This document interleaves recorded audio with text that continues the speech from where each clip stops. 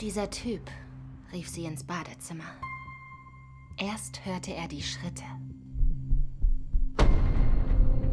Dann kam das Klingen der Schere. Aber dann, als er wieder in den Spiegel schaute, dann das Spiegelbild einer in schwarz gekleideten Frau.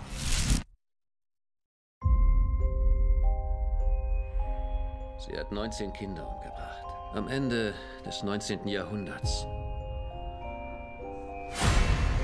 Ermordet von einem Geist aus dem Spiegel. Nannte man sie Peak Dame.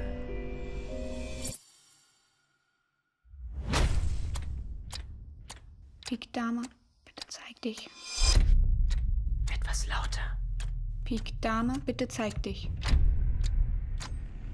Pik Dame, zeig dich.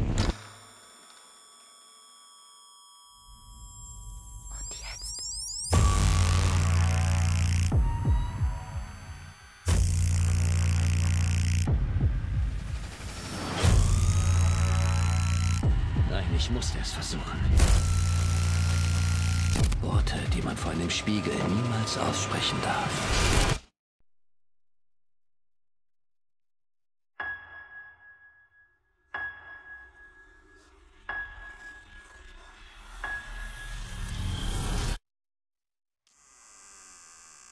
Sie schneidet meine Haare.